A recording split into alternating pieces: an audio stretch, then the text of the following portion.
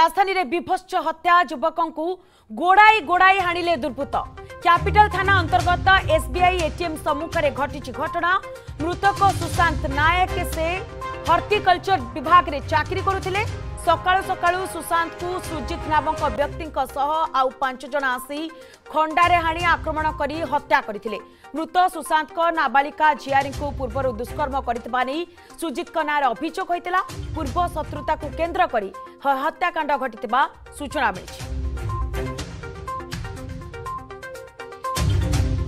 ରାଜଧାନୀରେ ବିଭତ୍ସ ହତ୍ୟା ଯୁବକଙ୍କୁ ଗୋଡ଼ାଇ ଗୋଡ଼ାଇ ହାଣିଲେ ଦୁର୍ବୃତ୍ତ କ୍ୟାପିଟାଲ ଥାନା ଅନ୍ତର୍ଗତ एसबीआई एटीएम सम्मुखरे घटी ଏହି ଘଟଣା ମୃତକ ସୁଶାନ୍ତ ନାୟକ ସେ ହର୍ଟିକଲଚର ବିଭାଗରେ ଚାକିରି କରୁଥିଲେ ସକାଳୁ ସକାଳୁ ସୁଶାନ୍ତଙ୍କୁ ସୁଜିତ ନାମକ ବ୍ୟକ୍ତିଙ୍କ ସହିତ ଆଉ ପାଞ୍ଚ ଜଣ ଆସି ଖଣ୍ଡାରେ ହାଣି ଆକ୍ରମଣ କରି ହତ୍ୟା କରିଥିଲେ ମୃତ ସୁଶାନ୍ତଙ୍କ ନାବାଳିକା ଝିଆରୀଙ୍କୁ ପୂର୍ବରୁ ଦୁଷ୍କର୍ମ କରିଥିବା ନେଇ ସୁଜିତଙ୍କ ନାଁରେ ଅଭିଯୋଗ ହୋଇଥିଲା ପୂର୍ବ ଶତ୍ରୁତାକୁ କେନ୍ଦ୍ର କରି ଏହି ହତ୍ୟାକାଣ୍ଡ ଘଟିଥିବା ସୂଚନା ମିଳିଛି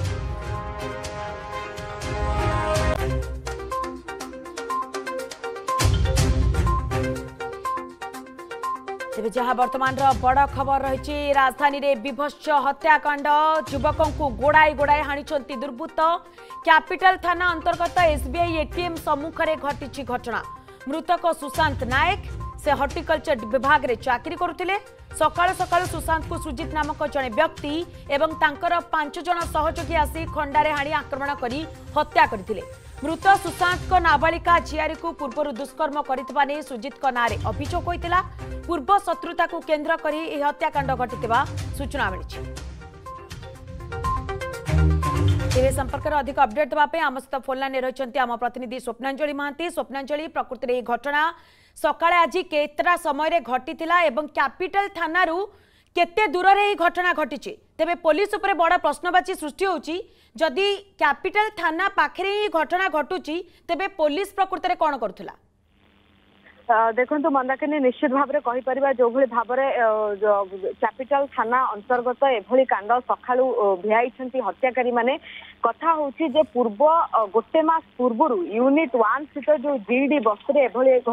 ଘଟଣା ଘଟିଛି ପୂର୍ବରୁ ୟୁନିଟ୍ ୱାନ୍ ସ୍ଥିତ ଏଇ ଯୋଉ ଜିଡି ବସ୍ତିରେ ସୁଜିତ ନାୟକ ନାମକ ବ୍ୟକ୍ତି ଏଇଠି ରହୁଛନ୍ତି ଏବଂ ମୃତ ଯିଏ ହେଇଛନ୍ତି ସୁଶାନ୍ତ ନାୟକ ତାଙ୍କର ପରିବାର ମଧ୍ୟ ଏଇଠି ଉପସ୍ଥିତ ଅଛନ୍ତି ତାଙ୍କର ଅଭିଯୋଗ ରହିଛି ଯେ ସୁଶାନ୍ତ ନାୟକଙ୍କ ଝିଆରୀ ଅର୍ଥାତ ଯିଏ ନାବାଳିକା ଝିଆରୀ ରହିଛନ୍ତି ତାଙ୍କ ସହିତ ପୂର୍ବରୁ সুজিত নায়ক অসদাচরণ করলে অভদ্র ব্যবহার করলে তাঁকু সবুলে খারাপ ব্যবহার করছেন ইয়াকু নেকি পরিবার পক্ষর ক্যাপিটাল থানার গোটে এতলা দায়ের করা এ ঘটনা হচ্ছে মাসে তলর ঘটনা ଯେହେତୁ ଗୋଟିଏ ବସ୍ତିରେ ଦୁଇ ଦୁଇ ଜଣ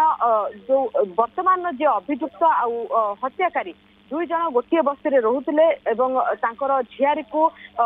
ଏଭଳି ଅସଦାଚରଣ କରାଯାଇଥିଲା ତାକୁ ନେଇକି ତାଙ୍କର ପୂର୍ବରୁ ମଧ୍ୟ ଶତ୍ରୁତା ଥିଲା ପୂର୍ବରୁ ଗଣ୍ଡଗୋଳ ହେଉଥିଲା ବାରମ୍ବାର ପରିବାର ପକ୍ଷରୁ ମଧ୍ୟ ଏ ବାବଦରେ ଏତଲା ଦିଆଯାଇଥିଲା କିନ୍ତୁ ଏପର୍ଯ୍ୟନ୍ତ ମାସେ ହୋଇଗଲା ମଧ୍ୟ ତାଙ୍କ ପରିବାର ପକ୍ଷକୁ ଏପର୍ଯ୍ୟନ୍ତ ନ୍ୟାୟ ମିଳିନି କିମ୍ବା କାହିଁକି ସୁଜିତ ନାୟକ जी हत्याकारी रही सी कहीं बारंबार झीक सहित खराब व्यवहार करते से नहीं कौन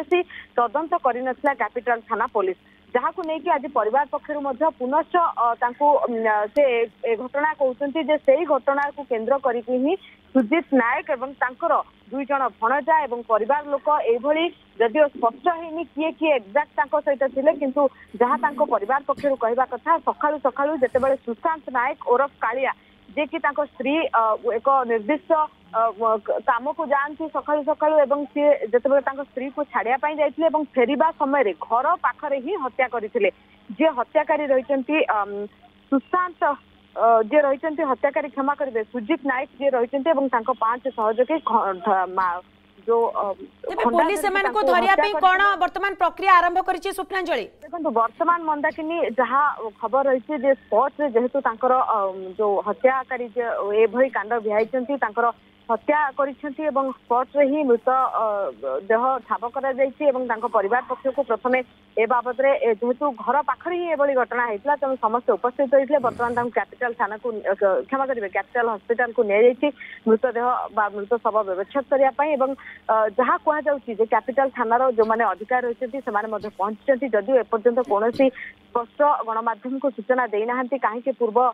ଏଭଳି କାଣ୍ଡରୁ ପୂର୍ବରୁ କାହିଁକି ଏହାର ମାମଲା ତଦନ୍ତ କରାଯାଉନଥିଲା ଯେହେତୁ ପୋଲିସ ବର୍ତ୍ତମାନ ତଦନ୍ତ ଆରମ୍ଭ କରିଛି ଏବଂ କ୍ୟାପିଟାଲ ହସ୍ପିଟାଲରେ ଯେହେତୁ ବର୍ତ୍ତମାନ ଶବକୁ ରଖାଯାଇଛି ଏବଂ